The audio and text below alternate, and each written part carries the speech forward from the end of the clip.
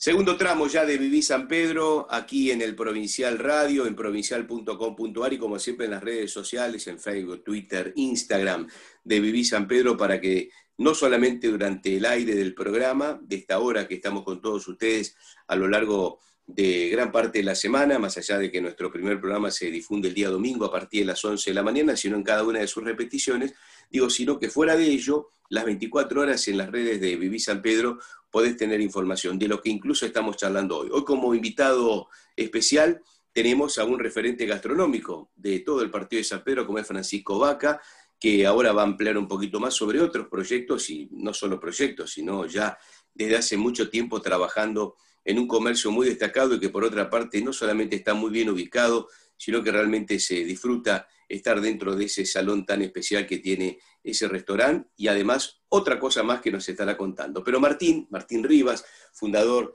de Viví San Pedro, antes de la pausa, de alguna manera proponíamos charlar de qué manera, eh, si bien no está permitido y si bien todavía no está muy claro cuáles serán las reglas para el turista que llega a San Pedro en las próximas vacaciones, pero cómo se está dando esto de consultas, digo, si la gente está consultando, si están llamando, si este, intentan averiguar precios para ver cómo será la temporada en San Pedro. Digo, vos que tenés una visión amplia de, del turismo en general de, San Pedro, ¿qué nos podés contar?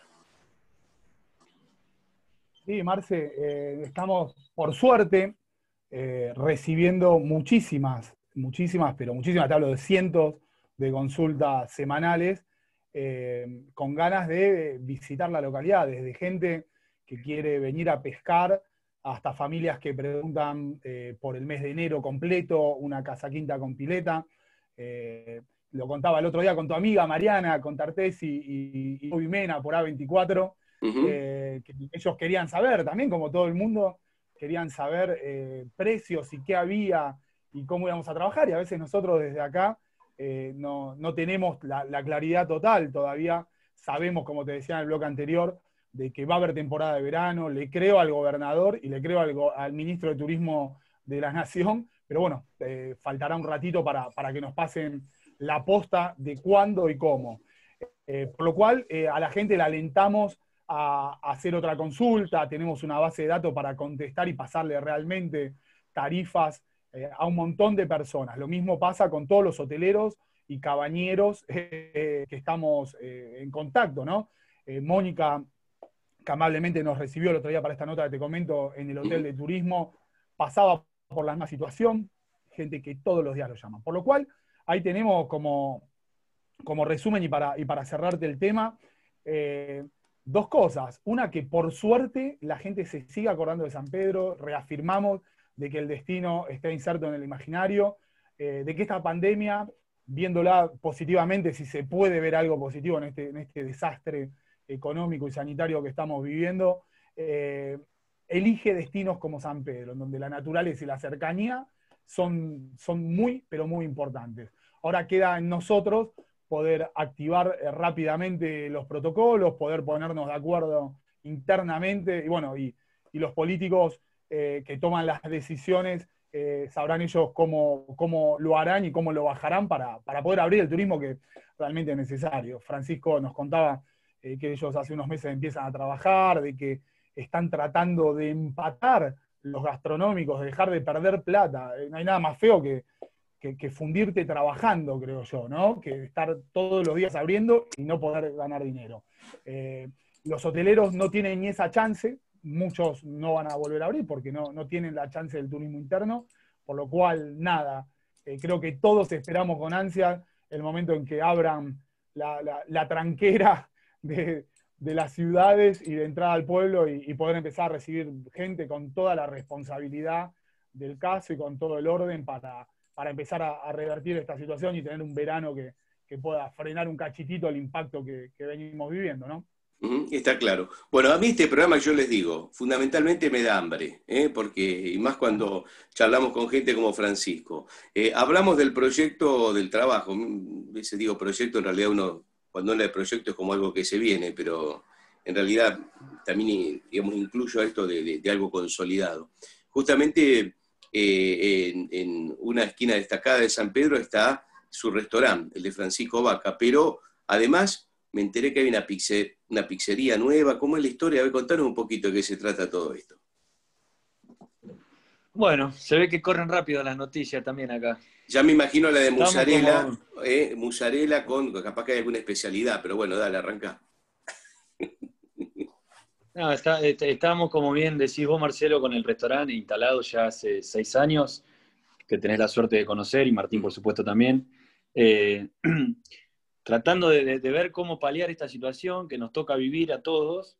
Y bueno, como, como, como bien dijo Martín, no hay nada más feo que fundirse trabajando. Entonces, para no tener que llegar a esa situación, empezar a ver realmente qué es lo que puede solventar o dar una mano y ayudar. Y, y allí es cuando nos encontramos un poco con que el delivery, el takeaway y, toda esta cuestión, por el miedo que todavía la gente tiene de, salir, si bien está permitido y está dentro de las posibilidades de salir a cenar o, salir a tomar algo, hay gente que todavía realmente está muy asustada. Decidimos con un amigo hacer una apuesta nueva en este momento, de una pizzería exclusivamente solo pizzas, nada, nada extra, solo pizzas, de todo tipo, con, con hornos a barro, con hornos de leña, este, con hornos pasteleros, un poco de todo para tratar de divertirnos con masa, con masa clásica y tradicional, con masa, eh, masa madre, pizza al molde, pizza a la piedra, bueno, lo que todo conlleva fainá. Eh, así que estamos desarrollando eso, ya casi terminamos, si Dios quiere, antes de que termine octubre, eso ya estaría en pie y encarrilado arrancando. Algo más para San Pedro también, como, como todo lo que hacemos, porque en realidad todo lo que hacemos es, para ayudar, colaborar, aportar, además de, del beneficio propio de nuestra ciudad, de nuestro querido San Pedro. Así que sí, ese es el proyecto que, estamos desarrollando en este momento. Viste, Martín, que me da hambre y tengo razón, ¿eh? Ya se acerca, se acerca parte del mediodía. Me parece que vamos todos para, no sé si para favela o, o bajar a la costa del río. No, para el mediodía al mediodía ahora tenemos que encarar a nuestro asadito tradicional, que bueno, que ya los dos ah. tienen la suerte de haber eh. conocido, así que hay que encarar la parrillita. Ahora, domingo al mediodía hay que encarar la parrillita de Favela. Que no falle. Qué grande, qué grande, qué grande Favela, qué grande ese parrillero que nos malcrían, ¿no? Porque vamos a Favela y la verdad yo me siento, me siento malcriado porque pedís el corte que querés eh, y me ha pasado que lo fueron a buscar, o sea, no, no, no había ahí porque se había acabado, lo fueron a buscar. Y el punto, y el punto que, también, que uno elige, siempre, siempre lo aciertan. Y esto no, no tiene nada que ver con que estés acá, Francisco, lo decimos cuando vos no, no estás tan bien. Ahora lo decimos porque obviamente esperamos un descuento la próxima vez que vayamos. Eh, a, mí me, a mí que, digo, no me tomen como tal, pero a mí que me gusta un vinito tinto Malbec, además en Favela te parás y te elegís el vino, tenés ahí una bodeguita donde además no solo le elegís, sino que te asesoran para elegir, digamos, esto también. Yo me acuerdo de Favela, este, por el este, parrillero, por supuesto, y también por los vinitos que vas eligiendo. Que vos sé que yo no lo había, creo que en Buenos Aires había un, bar de esas características, yo no lo conocía, y mira que salgo, ya salgo, salía, eh, cuando podía. Salía. Salía, ¿no? Este, a, estos, a estos ámbitos gastronómicos, pero interesante. Y después lo descubrí en Mar del Plata también, un día con nuestro querido compañero Ricardo Ferradás, productor de este espacio, en uno de los viajes que hicimos por, por el interior, este, nos sentamos a comer un día en Mar del Plata, en un restaurante, también con la misma metodología. Y yo le decía, ¿te acordás en San Pedro? Bueno, así que mira, nos quedó, nos quedó como, como esta, esta situación este, interesante de, este, de alternativa distinta. Digo, uno no solamente cuando va a un lugar a comer, tiene que estar rica la comida, por supuesto, tiene que estar rica la comida porque uno va a comer, pero el clima, el lugar donde está, el estar confortable y demás, este, también suma, ¿no? Porque uno en definitiva también va a pasar un buen momento, además de comer o tomar algo. Este, así que bueno, ese es el recuerdo de, de y que me imagino, si trabaja como en Favela, Martín, las pizzas vienen con ese mismo nivel, ¿no? Le iba a preguntar eso, sí, olvídate, Francisco, le tengo un respeto. Aprovechá, Fran, porque son las últimas eh, promociones que te hago, que en un par de meses hablo yo también, y ahí nos vamos a empezar a pelear con Fran por la gente. No, mentira, mentira. Ah, eh, no, eso nunca. Francisco le tengo, Olvídate, olvídate que no. Y, sabemos, y te veo trabajar a vos con, colegas de la misma cuadra. Eh, sabemos que, en la unión está la, fortaleza, eh, que la, unión tiene que traer eh, más, más turistas, más visitantes, más clientes. Tenemos una frase que la repetimos con Francisco cada vez que hablamos, sale, o él o yo la dice, que es, tenemos que agrandar la torta, no sirve seguir repartiendo la cantidad de, comensales que llegan a San Pedro, llegaban o van a volver a llegar, o, que tenemos internamente, entre la misma cantidad de, restaurantes y bares, más lo que van a abrir. Eh, la solución eh, está en traccionar más y mejores visitantes, que es un poco el, mantra que, repito en, Vivir San Pedro. Trabajamos por eso, por momento nos sale bien, ahora esperemos retomar ese, camino.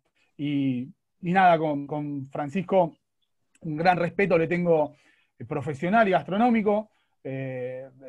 por un lado, por, la calidad que tiene, como te hablaba, en, los productos que, hace él. Por otro lado, pues un loquito, un loquito como yo que, en, un momento, en un momento difícil como esto redobla la apuesta eh, y, genera, y genera, genera un nuevo espacio, genera un nuevo producto. Eh, eso acompaña, acompaña, todos lo sabemos, de, un movimiento eh, comercial que hoy es muy difícil tenerlo.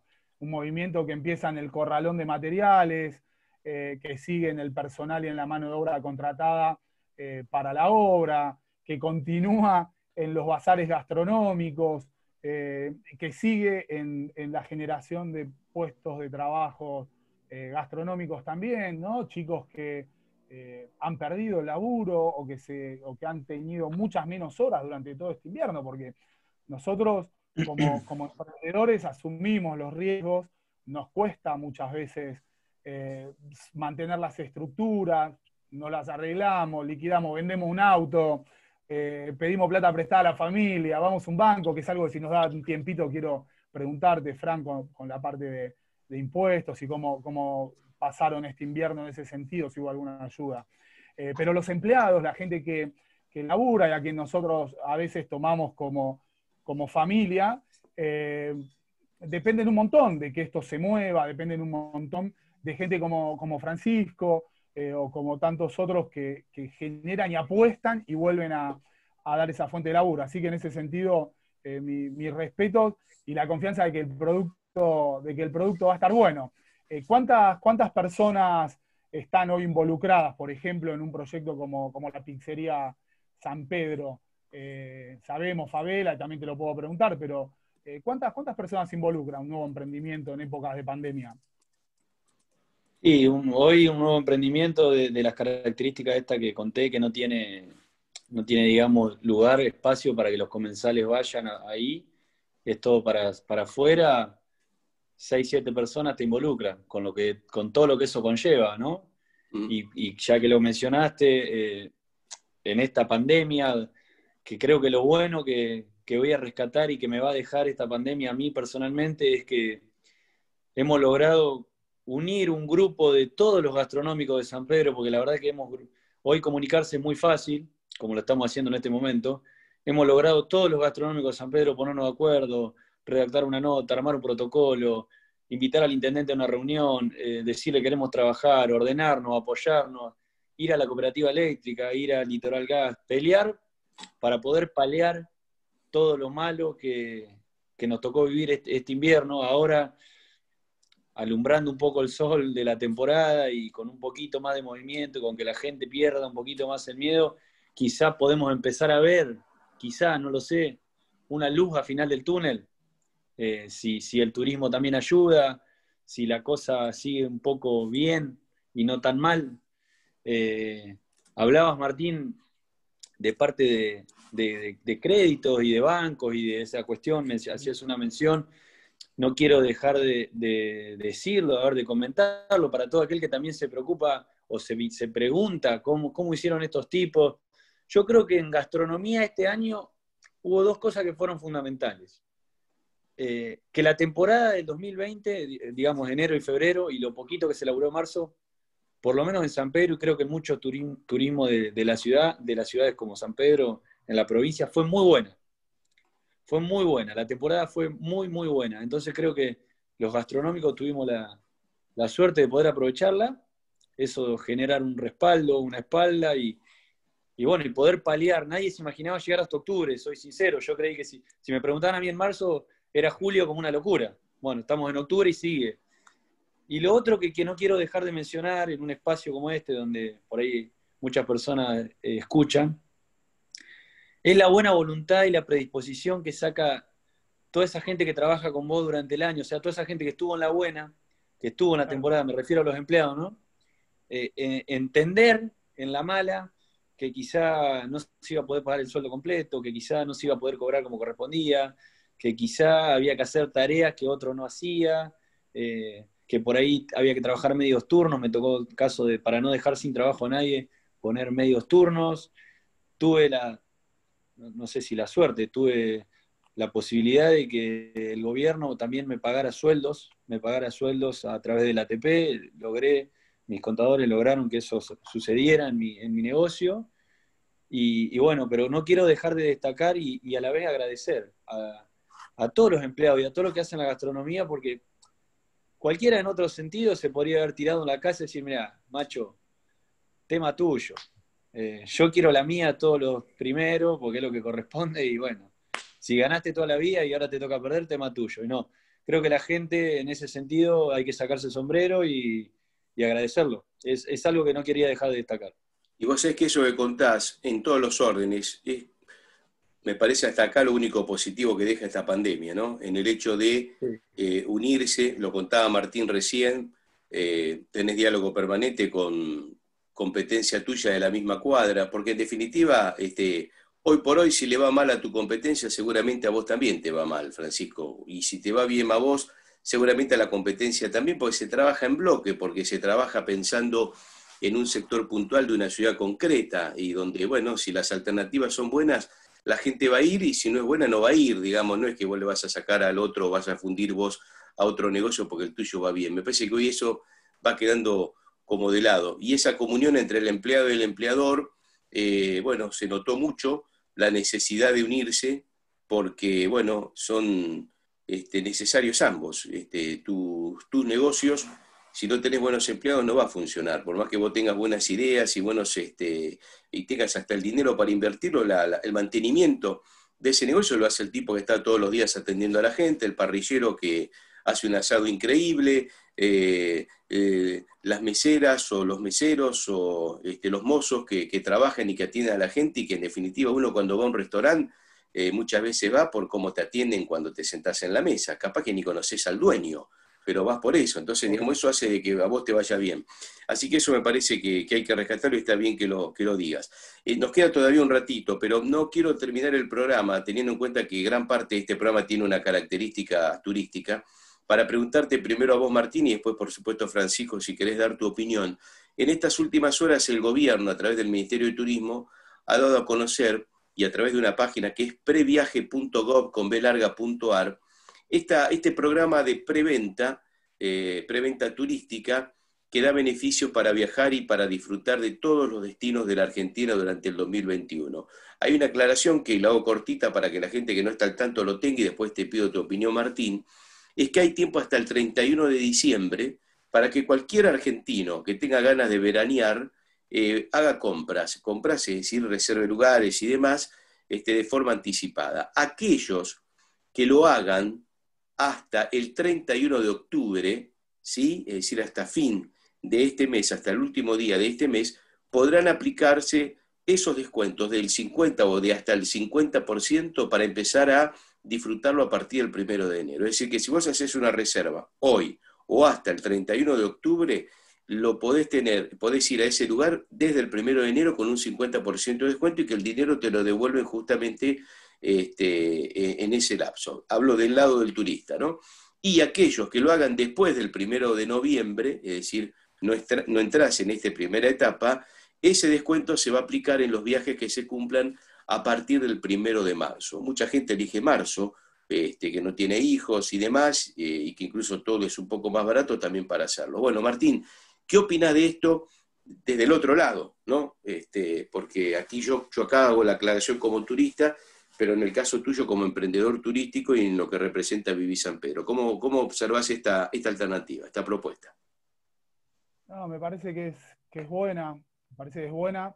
Vamos a ver cómo, se implementa. Bueno, hay, un montón de cuestiones operativas que, va a haber que verlas, pero la, intención y la idea me parece que que es positiva.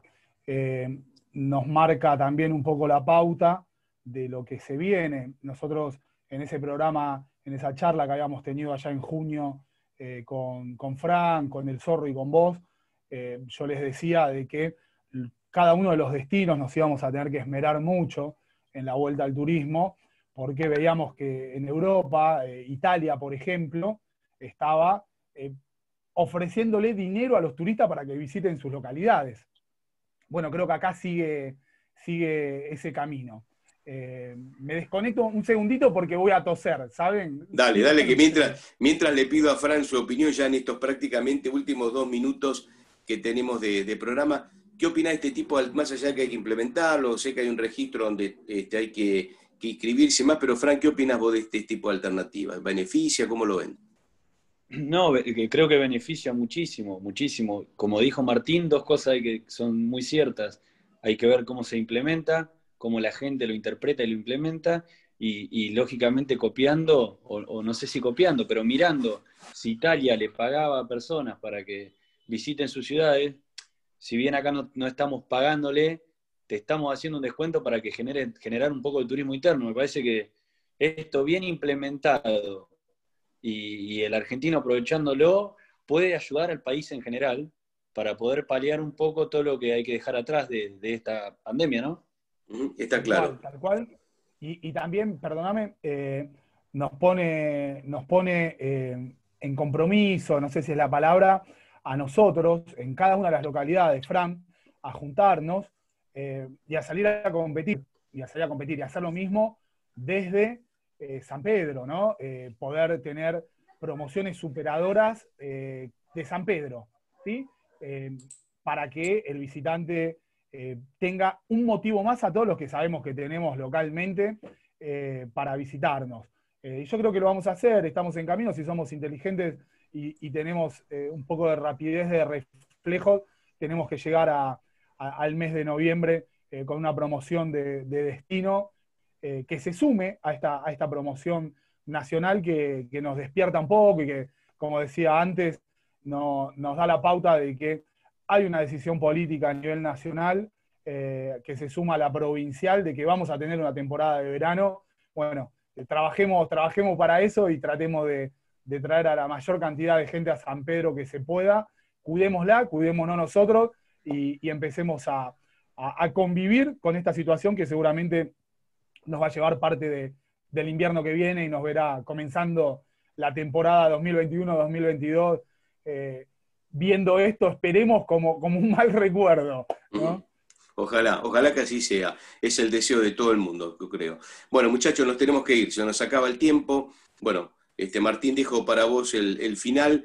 Gracias, Francisco, como siempre, un gusto charlar contigo y eh, es muy productivo que este, en estos tiempos haya eh, cabeza abierta para pensar en nuevas alternativas y no quedarnos en el lamento este, sino que este, aprovechar este, bueno, ese tiempo que nos permitió encerrarnos un poco y, analizar la jugada usando un lenguaje futbolístico para ver cómo, cómo tenemos que salir a la cancha. Bueno, ya están los, los, jugadores armados ¿eh? para que el partido se inicie. Así que felicitaciones, Francisco, un saludo para vos y bueno, para toda la gente que trabaja contigo. ¿eh?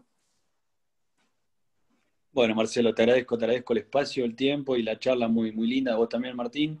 Así que bueno, les dejo un saludo y esperemos que todo esto quede como una anécdota nada más. Bueno, Martín, cierre nomás. Bueno, nada, ya dijeron todos ustedes, hemos dicho todo.